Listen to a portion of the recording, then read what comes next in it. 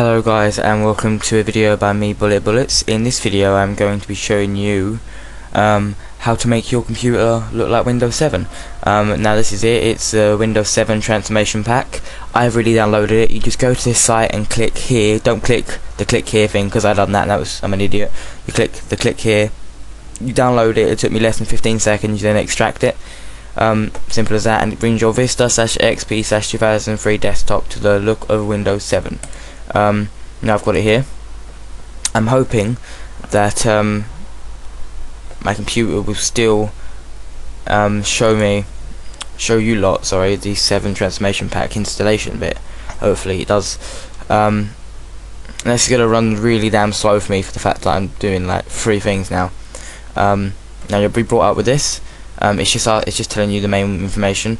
Um, it's saying set Windows live as a desktop as your um, default homepage, which I don't want. Next, obviously you agree. Next. Now it's saying install 7 or integrate 7 transformation pack into Windows setup files. I'm going to go install 7 transformation pack. Now it's asking you about your screen resolution, things like that. Mine's a normal screen and I'm going to leave mine on normal as well but you just read through this.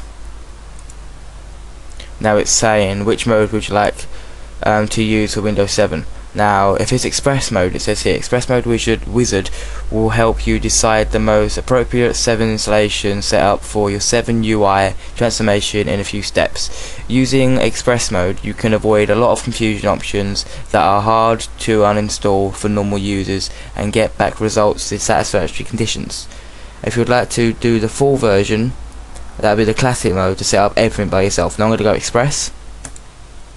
Now it's saying it's asking me which components and it's saying apply system files I'm going to do that. High chest that log off buttons hex for sim buttons. Yeah I want that. Uh, and I accept.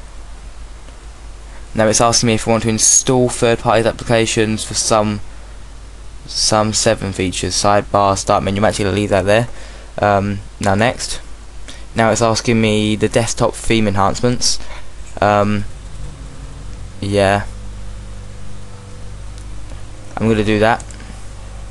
Now it's saying setup information file. Once the 7 installation is set up you may save your configuration for later uses without reconfiguring anything else all over again. This program will create a file named vtp.sif in installations folder. You can delete that file to clear the configuration save the current setup installation. There you go uh, save the current setup 7 installation into setup information file for later uses. Transform. Now this is going to take a bit of time this bit I'm guessing. Um, because obviously this is the time that I have to do this because obviously I have to get rid of all of it to do it to show you again. Um, so I'm going to pause the video and show you again later on once it's done Hello and I'm back and as you can see it's now done. Um, as soon as you've done the installation thing it will come up that you need to reboot. I obviously couldn't record that because I needed a reboot. Um, but I click OK and it reboots. It comes back on again and it's like this. As you can now see um, a lot of the stuff has changed including the size of the icons is now to the 7 um, to the Windows 7 style. You have your bottom taskbar like Windows 7 including the square tabs and in XP and Vista you're not able to move around the icons at the bottom. In this you still can it's able to do that. Um, you've also got the classic in 7 where you're able to pin and unpin stuff which I'm still able to do pin. Um, I'm also getting the the head up here this part showing me that. It's also getting that in this. Um, this is quite a good transformation pack.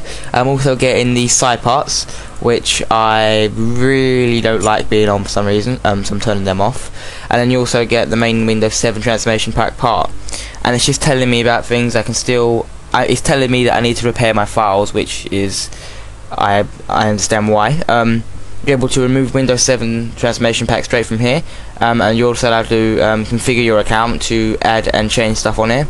Um, so it's really quite simple. Um, here's all the, the, stuff that you can change and apply. Um, so it really is a, re a, quite quick and easy format. Um, and as you can see, it is. I'm going to go into that. It's going to run really slow now, but as you can see, it has all completely changed it to the Windows 7 liking. Back to my computer. Oh god, it's running really slow. maybe I won't go to my computer. Um, but as you can see, everything has changed now um, to how Windows 7 would look, and it's all free, and you don't have to install the new operating system like that. Um, here is my computer at long last. Um, this is just my terrible RAM kicking in all over again. And as you can see, it has changed my computer as well to the liking of 7. Um, so this is a video by me, Bullet Bullets. Please comment, rate, subscribe. Thank you very much for watching.